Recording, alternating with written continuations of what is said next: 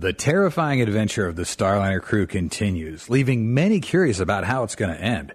However, contrary to public expectations, the ending will be just as risky as the earlier events. NASA has announced that two astronauts will still return on the Starliner. No Dragon, no support here. So, why has NASA made this decision, and how are the astronauts reacting? Let's find out on today's episode of Alpha Tech. Boeing Starliner spacecraft and its crew have been in space for over a month much longer than the initially planned one week. However, the two astronauts piloting this historic test mission mostly praised the vehicle that took them to the International Space Station, marking the first crewed flight of the spacecraft manufactured by Boeing. In a short press briefing from the space station, Barry Butch Wilmore, a veteran of two previous space flights, said that we're absolutely confident in the return trip and that despite the issues on the way to the station, Starliner was truly impressive. Still, as he took over manual control of the autonomous spacecraft as it approached the station June 6th, he could tell that the thrust was degraded, he said. At the time, we didn't know why, obviously. The failures had just happened. You could tell it was degraded, but it was still impressive.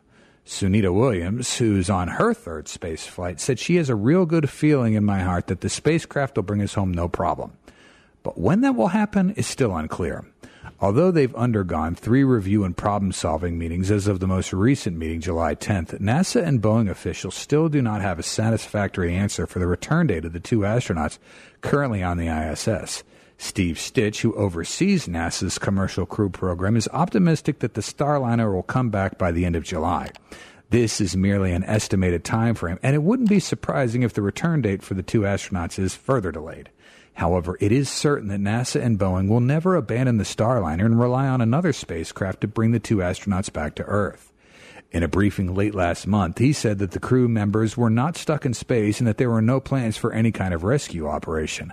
I want to make it clear that Butch and Suni aren't stranded in space, he said. Our plan is to continue to return them on Starliner and return them home at the right time.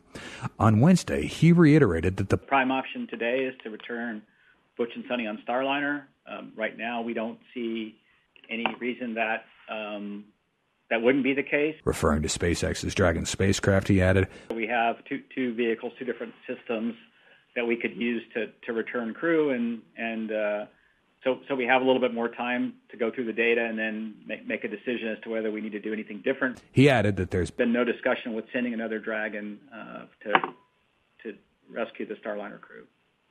To be honest, I know that astronauts are deliberately saying flattering words about Starliner to reassure the public, but I'm certain that deep down, each of them also has a little bit of fear. However, Starliner is under the management of major U.S. government agencies, which truly don't allow it to fail, and even those who sit on Starliner to return to Earth are not allowed to turn their backs on it. Therefore, NASA will certainly not use SpaceX's Crew Dragon, and as of now, Crew Dragon's not part of their plans. Despite the fact that Dragon's proven to be very reliable for crewed flights, NASA and Boeing can't afford to lose face, especially with all the other rival countries around the world like China and Russia closely watching the flight of the top U.S. government agency. Hey, if you like this content, give us a like and subscribe. It'd be great motivation for us to keep making videos for you every day. All right, getting back into it. The question arises after completing the first test flight of Starliner, can NASA abandon Boeing's Starliner in the distant future? Although it's not what everyone wants to hear, the reality is that NASA's unlikely to eliminate Starliner. The reason lies in the interdependent relationship between NASA and its contractors, similar to the relationship between military and defense suppliers. When a government agency like NASA relies on a few suppliers with exclusive expertise, they're forced to maintain the existence of these partners to ensure long term competitiveness.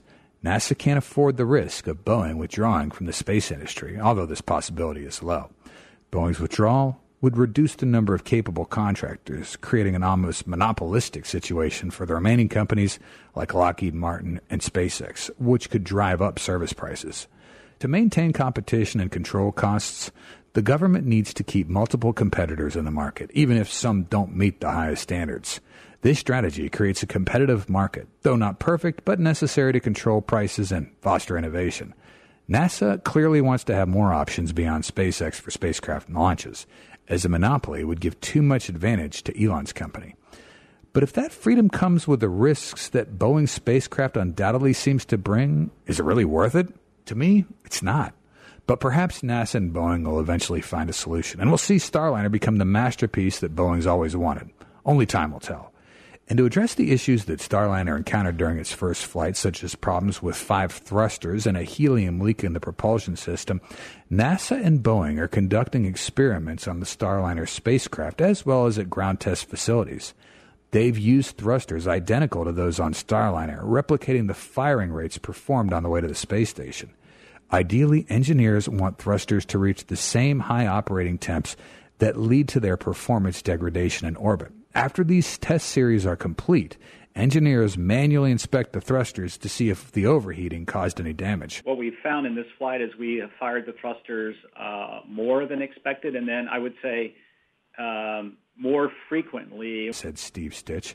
When I say frequently, I, am talking about how close you fire an individual thr- uh, thruster pulse to the to the next pulse of that thruster. What we're trying to do at White Sands is really replicating exactly what those pulses were that those thrusters saw, and then understand the heating effect from those pulses, and then make sure that there's no unintended consequences of the pulses, Stich explained.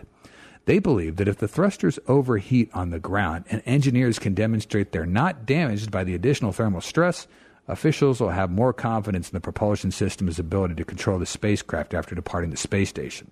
Moreover, understanding the thruster performance is crucial for future Starliner flights, determining whether changes are needed in the control software settings or the activation frequency to avoid overheating. The way that we fly the flight, do we want to change that a little bit? Are there limits that we want to set differently? In our software on how to deselect the thrusters. Those are the types of things that we want to learn. Said Mark Nappi, Vice President and Program Manager of Boeing's Commercial Crew Program. The test series began July 3rd with a series of firings simulating what one Starliner thruster experiences in orbit. However, engineers couldn't replicate the same heat levels on the ground as the thrusters did in space, so the tests got paused this week to find better ways to simulate the actual thermal conditions of the spacecraft. They hope to pick up testing this weekend and complete it by week's end. Starliner's maneuvering thrusters are housed in four thruster pods, known as doghouses, around the service module's perimeter. These doghouses function like thermos bottles, exacerbating the overheating problem with the thrusters. We get a great deal of thermal kickback from the doghouse itself. And so not all the heat is coming, you know, directly from the thruster or through the, the injector of the thruster. Nappi said. We're getting quite a bit of heat soak from the doghouse. So that's good information to have as we move forward and, and determine what the future mission profiles are going to look like. Engineers are also validating their estimates of the additional helium the spacecraft carried to pressurize its propulsion system after Starliner detached from the space station. Managers believe there's sufficient helium margin to handle the several hours of flight from detachment till Starliner discards its service module just before reentry. The service module burns up in the atmosphere, so Boeing won't recover it for a full diagnosis of the leakage and thruster issues. Starliner's reusable crew module will parachute to one of several potential landing sites in the western U.S. And that's it for today's episode. Thanks so much for watching, and we'll see you next time. Bye.